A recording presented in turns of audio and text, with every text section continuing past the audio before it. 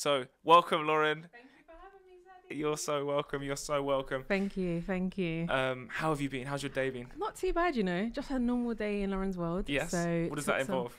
So meetings after meetings and loads of preparation and strategy. So obviously, as a market manager, it's just always strategy and creative ideas and just making sure things are in place. And today, my day was Xadi Day. Oh, It was a Xadi Day, you know. So obviously, you got a release tomorrow that we're yes, excited about. yes. So yeah, that's what I've been. Well, my brain's in like world today. Oh so, my yeah. gosh, I couldn't be I couldn't be more touched. I couldn't be more touched. yes, so actually that over the course of this section where I'm going to be talking to Lauren, we're going to be playing some of the artists that Lauren has worked with that- on their releases, and one of them will actually be an unreleased song of mine, which is coming out at midnight tonight. Hey, everyone, go stream that. Yeah, Yeah. do that. Do that. Do Yes. Um, okay, so Lauren, what was your first step into the music industry? How did you know you wanted to work in that that. area? So I've always been into music. So like from a young age, I was like fascinated with like tapes and vinyls and Oh, okay. like. There was loads of that stuff in my house, so there's like pictures of me like sitting at CD players and stuff. Like it's on my Instagram, and people are like that'd be a great That's so EV cute. cover, like if he was an artist. And I was like, if I could sing, then maybe. If I could rap, maybe. But sadly, I'm never. I can't do any Yeah. any, any of the two. Um, but yeah, so I grew up that way, and it was always in my soul. My mum actually always said to me, like, I kind of saw it in you from a young age. I just didn't know how it was going to play out. Mm. Um, and then when I got to uni, I did a media course, um, and I wanted to be a music journalist because I liked writing, and I started writing a blog on my own. Mm. Um, and I kind of just started my career literally in the house. Um, I didn't know anyone in music. I didn't know anything about it. And then I just started creating this blog in between, you know, uni. And then um, slowly, as I started doing, it, I started meeting a few people and going to a few events that like I was blogging about. Um, and then I actually started getting invited to one extra events by the BBC. They start, they picked up on the blog, which was really nice. And I remember I was like, "Oh my goodness, this is mad! Like they know who I am." um, and then off the back of that, I ended up going to a couple of events around London at the time, and one of those was the Sunday Show, which anyone of my kind of age, towards the late twenties, early thirties, I know I'm aging myself right now, um, knows of that show. It used to be in Leicester Square every Sunday, and it was a place where all the mus- uh, musicians from the black music scene at the time Mm. were performing. So. Think like Ghetts, Ed Oh, Sheeran, everyone did that kind of stuff. It was Okay. crazy, iconic times. Yeah. And Mo the comedian, Mo Gilligan, was the host. No. So if that just shows you like the groundwork Oh that it was like the place that was developing talent across the board. Yeah, that's mad. Some great comedians as well that have gone on to do commercial success as well. Mm. It was an amazing night. And then one of the founders of the event was like, "Oh, so you blog? Do you want to take over the website?" And I was like, "Cool." Mm. So I took over this on the Sunday Show TV website. We'd do press junk junkets. We'd go everywhere, just interviewing artists, doing content, and literally like you're making like zero money, but it was Yes. so fun, and it was in between uni. And then off the back of that, I ended up working for one of his other events that he did in Shoreditch. And then I started going to other comedy nights because I kind of just enjoyed the, the vibe. Met a guy called Matthew Bridgman who runs a club night called Faded um, with Taser Black, who's part of Free Shots Tequila, the podcast. oh yeah, yeah, I people know that. I know that. That's funny. Started working for Faded at the time, so Mhm. doing loads of social media stuff with them, promote it, promoting the event. It was like literally in like a hundred cap venue at the time, yeah. and it's their ten year anniversary. Wow. year, so it's crazy to wow. that even must know. be amazing. Yeah, and then off the back of that, I worked at Jump Off TV, and everyone knew Jump Off TV because they had crazy events as well based around the hip hop scene, and they had UK and US team. Mm. So it was like worldwide. That was Mm. amazing.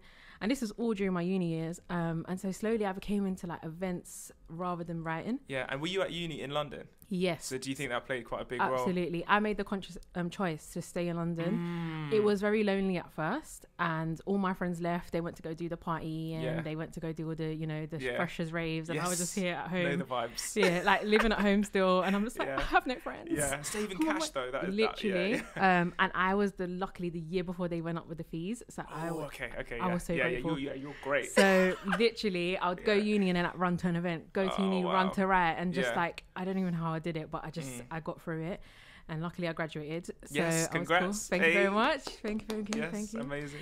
And then um, off the back of that, I um, saw a job while I was working retail. I used to work in Selfridges actually, just Oh, selling okay. shoes, Yeah, yeah, know, yeah. getting paying the bills. Get a little bit of discount Ye- at the time. Yeah, I you? can't lie. okay. Loads of nice shoes. That it was great. been Good. times, Yeah. good times. Um, and I met some really nice people who are still friends of mine today, who have Mm. gone on to do amazing stuff. One of them is actually an A and R as well. No way. Crazy. What are, the, what are the chances? I know, right? And we used to just talk about music while we we're just on the shop floor. Maybe it's the kind of fashion element. yeah, there was so do many creatives in a building. Like everyone's gone on to do some sort of creative job, working No, that's fashion or amazing. music, and it's Mm. a really nice place.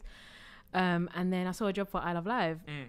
and this was like in 2015. So I remember I was like, cool. I'm still pretty young. And what, what is I Love Live for people who don't know? So for I Love Live, It's a live events and music artist development and management company, and it's basically all based around supporting new talent. So the tagline is actually new talent first. So we want to support people from early. It's been around for 18 years, which is Mm, crazy That is wild. crazy, crazy. And um, it started obviously as a live music night, same kind of time as the Sunday show what I mentioned before. Yeah. And um, it was like you know Ed Sheeran came through the doors there too. Mm, I saw Ed Sheeran mentioned it on a On a ZZ podcast twice, yeah, yeah, he said yeah, that he met some friends there that Yeah, he's still his friends till today, and Yeah. she's so lovely to hear. Emeli Sandé met Naughty Boy there, Mazayin. ended up making her first album, which broke her through the Oh my scene. gosh! Well, you, trying to, you, you need to be taxing that. Like, I, I know, right? We always saying it like, guys, you know, Yeah. we like who we put on the map, you know. um, so yeah, it, was- it's an amazing place, and um, you you will know Xadi in Mm. particular. Like our office is filled with pictures just from the back in the day of just like Tinie Tempah. yeah, Yeah. just everyone that's came through the doors, and it's just amazing to see. Mm. So yeah, when I got the job, it was actually a year placement, Mhm. and I was in there, ended up being there three and a half years. Oh wow! Okay. So I ended up just kind of doing everything there: events management, artist development, Mhm. helping with the management here and there, but mainly events. Um, and I love doing it. But um, I got to a point where I was like, I want to try something new. yeah. Um, and the team were really understanding, and um, I started helping with the artist development program. So the artist development program is a program that runs 18 months, and we invest money into the acts to help them kind of just get to the next step of their Mhm. career. And I love doing it, but I knew that I wanted to kind of sharpen my skills. Yeah. So me being me, took the risk, left my job. The guys were gutted. I was yeah, gutted I can too. imagine that must have been a that must have been difficult because if that's the first time you've done a job for three years in a row, that must have been a difficult Yeah, move. it was weird. Yeah. I was scared, um, but I quit and I went to do my master's degree, oh wow! Okay. and that was in music business management. yeah. Was that in London as well? Yeah, it was in London, Yeah. so Westminster Uni. So Yeah. big up them because the Mm. course there it's an amazing course. really. Um, it covers everything from legal to A and R in to marketing, everything, and it's the place where it's either you want to start your journey properly, or if you're already on your music journey, kind of just sharpen your skills and thinking, cool, reevaluating and knowing where you want to go next. Mm. So I did that. I still kept in touch with the I Love Live team. They've always been there. They've always been in my lives. Yeah. And um, I even did like freelance work for them in between. I've never kind of Yeah. fully left, Yeah. Like, I yeah, always leave. always- but I've got like one foot in the door. it's like that breakup you have when you're like you're not really ready to leave. And you It's like I'm still in love. You're but, you dabbling. yeah, you're dabbling. It's not right for on, me. yeah, on a drunken night out, yeah. and then The drunk like, "Ah," text. Yeah, yeah, But equivalent would be an email. Do you want some help Yeah, here? yeah, or yeah. they, oh, Lauren, you know what? We really missed you. Would you be able to help with this? And I'm like, oh, go on then. That's that's a, that's actually kind of a good reason why maybe it's not always best to cut ties. It's not always do You know Absolutely. what I mean? Like it's, and this is a business based on relationships. One hundred percent. I actually don't like that. I I, I don't not, I don't not like it, but I feel like sometimes it's It's just what I did my dissertation on yeah. my I, master's. oh really? It's just like, I don't want it to be an issue if like I don't like you or like you've been difficult Mhm, towards me mhm, and like Mhm. that is the difficult thing about this industry is that it's just like you can annoy someone and then uh y- your name's been dragged through. Oh, I'm not saying this honestly, happened to me. Maybe it it has, but it is like that. I would. I doubt that very Oh, much. stop You're a it, good soul. Stop it, You're a good soul. um, but yeah, it's it is definitely a people's business, Yeah. and um, some people it's unfortunate, but you know you might get ahead just for the fact that you're friends with someone. even though yeah, someone might have more very skills common, than you. isn't it? Yeah. and it's annoying and it's hard, but it's just the name of the game. Yeah. So you have to kind of stay strong. And you know, I'm quite a reserved person naturally. It's not in my, it's not in my like foundations of me to be like outgoing. But Mm. music pushed me to be a more outgoing person because of that as- aspect of the business. Yeah. Um, and it's made me, you know, meet more people, and it's been Mm. nice. I like it. It's like personal growth for myself. So, Yeah.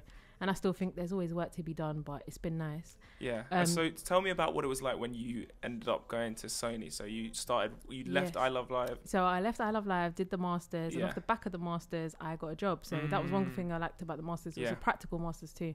So I ended up working for a small um, indie label called Marathon Artists. Oh yes, I know. um, for an imprint called Moose Recordings in particular, Mm. who focused on black music, um, particularly like Afro beats and Yeah. stuff like that. And I learned to do digital marketing there, and I still use that skill to this day. That's dope. Um, and um, I was doing that job, and then I kind of got headhunted by a few people that were founding a new imprint called Dream Life Records at Mm. Sony. Um, so shout out the guys. Um, shout out Shane. I know he tuned in. Say hey.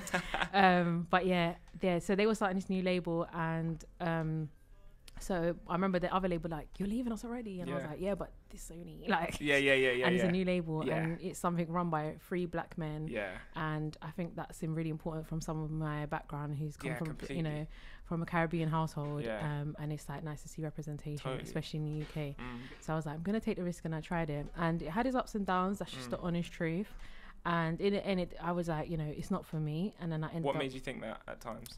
do you know what it was the label, the major label system is very different. There's Mm. um, a lot of levels to it. Um, every move you make, you have to go through about four or five people. Okay, that, it's what yeah. keeps the ship moving. like Yeah, the ship has It's to like a move. big company. like, yeah. Absolutely. There's rules, there's regulations.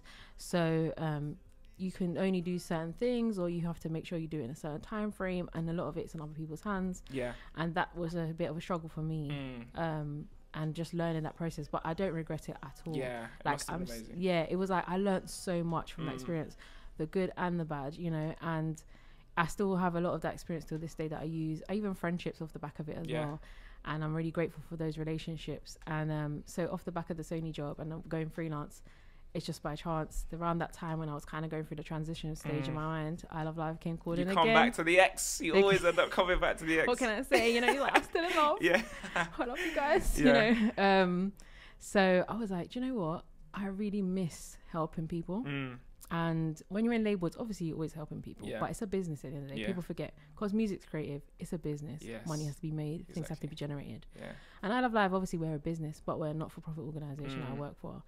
And um, I also wanted to continue doing digital marketing. I kind of missed doing digital marketing. Yeah. And then that's when I started my business, Hidden Courage. Mm. So I started Hidden Courage to kind of do digital marketing and music strategy for other artists, especially new up and coming artists. Mhm. Um, and I've started to expand that as well into other areas. I want to kind of work across creative people as a whole. Oh, I see. Because you must. That's the thing that you have one of those rare insights in that you've worked in the place that has the keys. Like you've worked in the major labels that have that big marketing arm. They know a lot about how to run successful campaigns. So it's like it's probably it seems probably quite a rare thing that someone leaves that and then wants to kind of bring it to independent artists Yeah, of all different yeah. types. So that's an amazing thing to do. Round of applause Thank for you very much. Thank you, thank you. Um, but no, that's what's been the best bit about kind of going the journey this way. Like, Yeah. obviously, you just don't know where you're going. But when I Mm. look back, I'm thinking the fact I can take elements of a major label and implement into a not-for-profit back Mm. to artists that they might not have access to, or yeah. you know, some artists they don't want to sign to majors. It's Yeah. just not for them. Um, and I think that's okay. It's, everyone's journey is their own journey. Mhm. So if we can take elements of that but merge it with what you're looking for, then why not? That's how I see it, really. That's crazy. That's such a beautiful, beautiful story. And then, what do you see as the next steps for your business? Where do you see that going? I think obviously um like my so my heart is I Love Live and my heart is hidden courage. Yeah. I think it's a bit of both. So one thing I like about the business is that I get to explore different things and try different things. Mm. Um, working with different types of businesses and other artists and kind of just kind of tr- you know it's nice to kind of know something's your own. You have ownership of something. Yes. Um, and then for I Love Live, it's just I want to help kind of re, you know, rebrand again. Like Yeah. we've been around for a long time. It's a, a company that's been around many years, and people don't realize like how much we offer. And there's this, it's a tiny team. It's a tiny, tiny team. Um, from obviously like the artist development program, how we met, and we do Mhm. some amazing stuff that way. We're still doing events to support up and coming artists, Yeah. and there's not many showcase artists anymore across Mm. the UK. Not just London. We do shows in Birmingham and Manchester, um, other cities in between that as well and also just helping publicize the management side as well. We Yeah. manage artists as well and worked with some really great people through that as well. Yeah. Um, so I'm really grateful to learn from the team as well. Like obviously the company's founded by people, you know, so Rachel, John, and Victor who work with me. They all had loads of experience, and I'm the youngest in the team, Yeah. so it's like kind of having like your music auntie and uncles That's exactly what you need. I kind of feel like that when to I go say to the like, offices. oh, what do you think? Yeah, Yeah, like you it's feel nice. it's like a safe haven, Yeah. you fully. know. And if I need some advice, I'm like, okay, guys, what do you think of this, or what do you think of that? Yeah. um, and then I, they come to me to bring Mm. aspects of things because I've kind of been outside now and I've come. Yeah. You know, they Yeah. use the analogy of like, you know, when your kid leaves home Oh yeah. and they're like, oh, but you know, you like living at home, but you kind of want to come in the comfort of home, Yeah, but still yeah. live independent. Yeah. That's kind of what I do there. It's like I've gone Chilling. away and taken You got the best both and then, yeah, Yeah, and then bring yeah. it back, That's and then I'm wonderful. like, guys, this is how it's working outside. Let's, let's try let's let's let's let's update some things. Yeah, basically. All right. So what I want to do now is get into a couple of tracks that you've worked on. So Lauren's worked with a plethora of artists. Wow. Xadi got a big vocab. But um, this, this one I'm actually gonna premiere. So it's just it's just gone ten past two. I'm gonna premiere a new song of mine. Woo, I'm excited. I'm actually excited. This I'm ex- is my tune. Yeah, I'm like, I know I'm biased because I'm helping you with the record, but honestly, I love the song. Oh my gosh! So this is coming out at midnight. Um, it's another song of mine, which is with a good friend and a really talented artist called Nina Cobham. So um, yeah, go check it out. Xadi Timing featuring Nina Cobham, and here it is. And this is the first one we're playing of tunes Lauren has worked on in some capacity. She's helped me massively with this release. Oh, so um, yeah, I hope you guys enjoy it. Let's get it.